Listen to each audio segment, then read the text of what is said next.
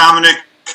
Hey, we're um, we're asking all the fighters what kind of differences have you guys seen since you arrived in Jacksonville uh, related to the precautions the UFC is taking uh, with the coronavirus?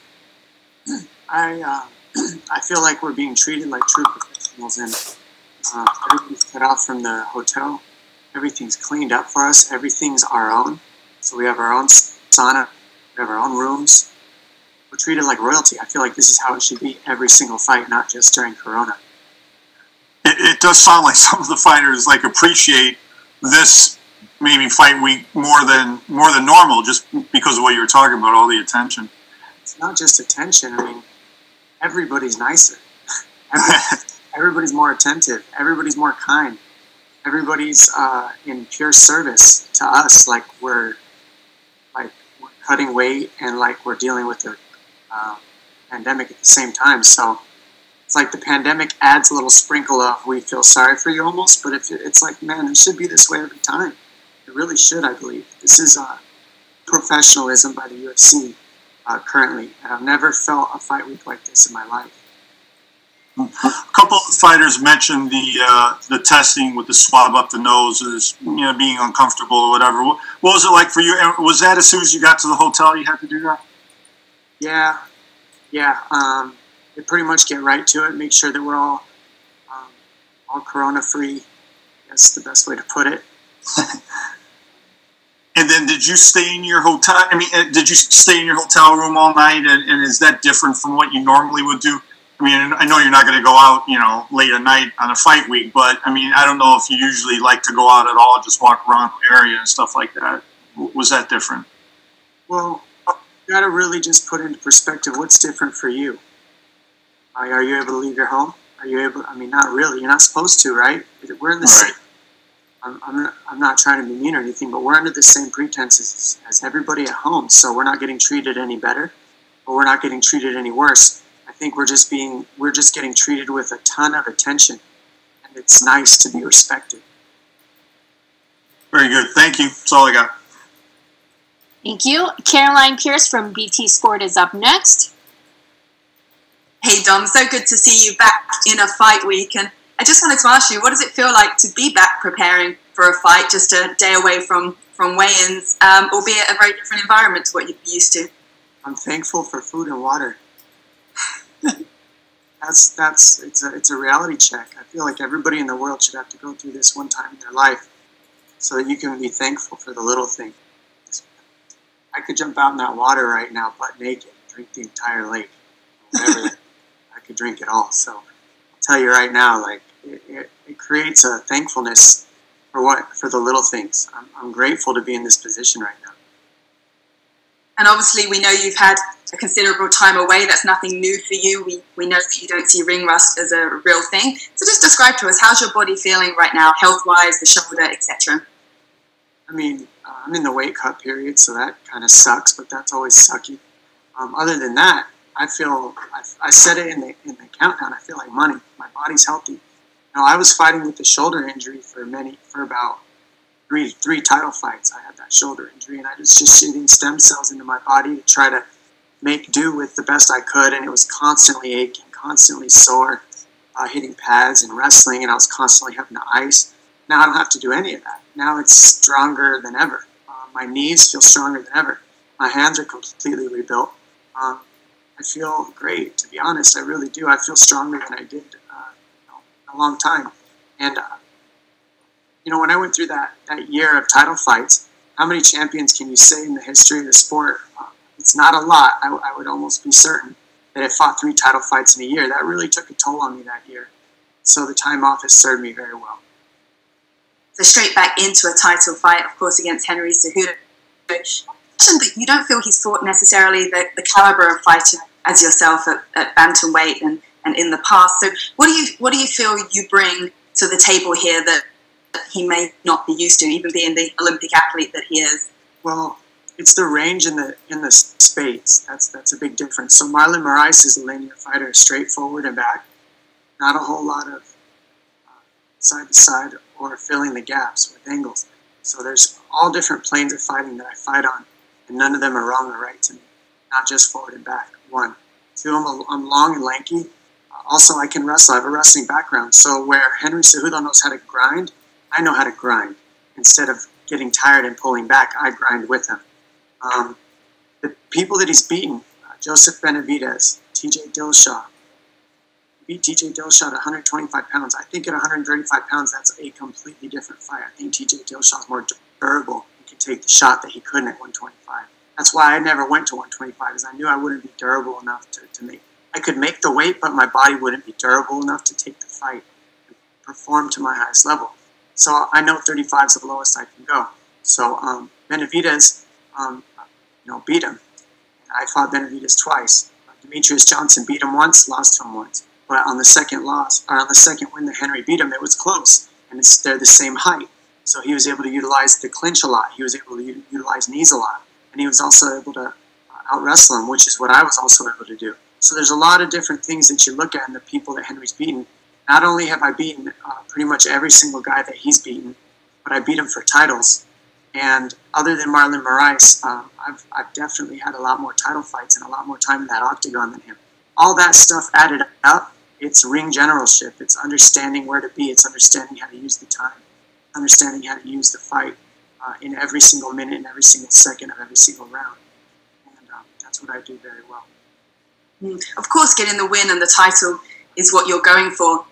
But how would you like it to play out? Are you looking for cage time? Are you looking to, to go those five rounds because you've obviously been out the cage for so long? Or is it a fast finish that you're after? Everybody, I'm going to tell you something. And that's why I hate hearing I'm going for the finish. We are all going for the finish. Every single one of us wants to walk in there and do what happened, or uh, what Masvidal did.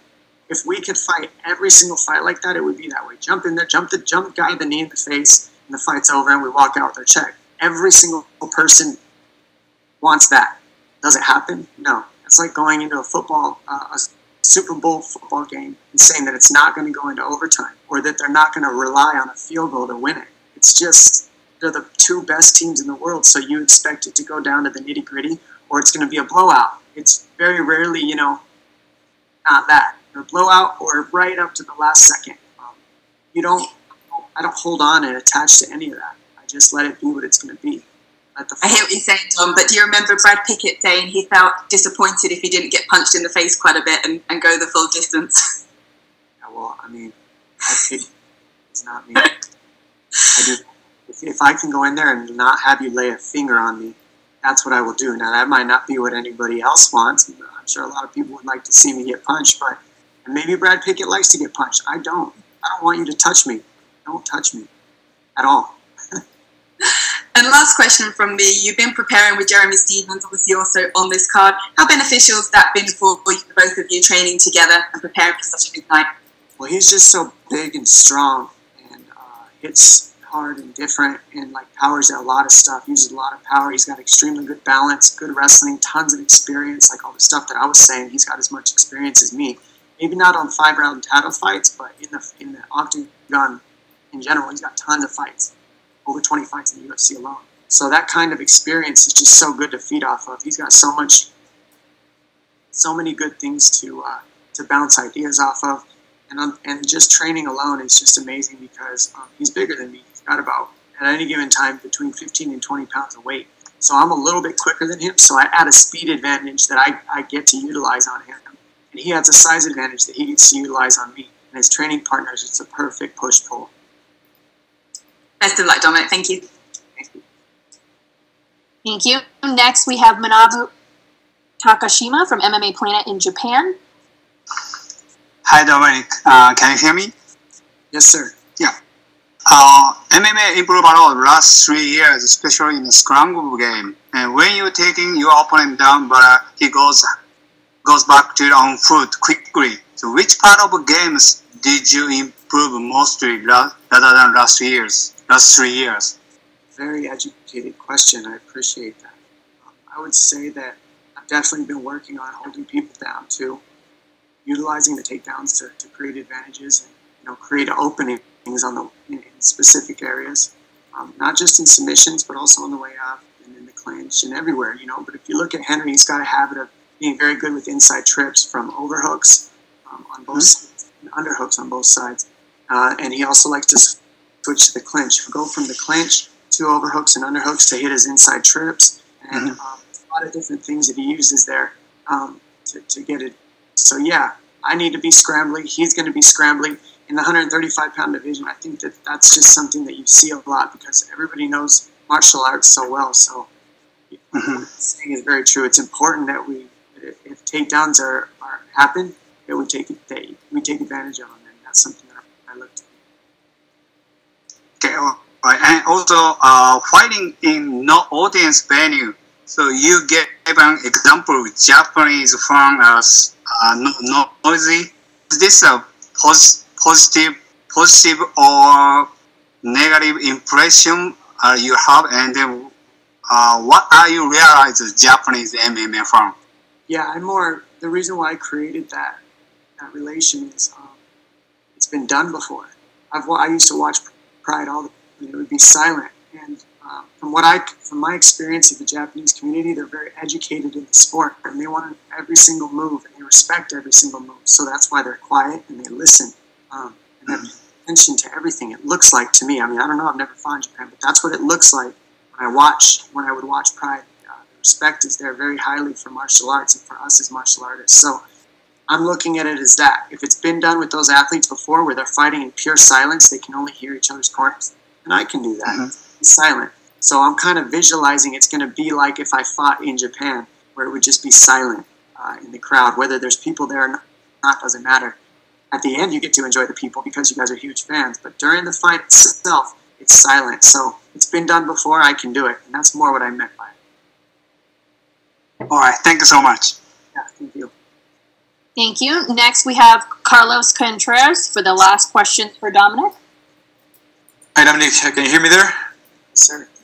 Hey, Dom. Um, uh, th- th- two days ago, you, you spoke about being, or you debated with uh, with Henry about being the MJ of the of the bantamweight division, and, and lots of people, including myself, think that you are the greatest in, in the bantamweight division in, in, in MMA. So, uh, does it? Uh, do you feel that coming back after uh, more than three years uh, adds that to to your legacy? That not just being some of the analysts like saying that you are the greatest, but like this is would be like the, there's no more argument if you come back and you beat a guy like Henry Cejudo.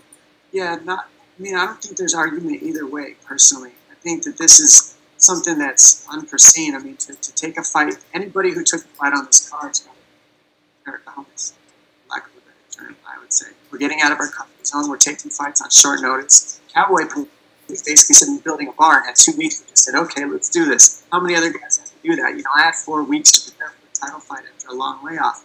That's not easy. I'm the underdog in this matchup. I know how good Henry is.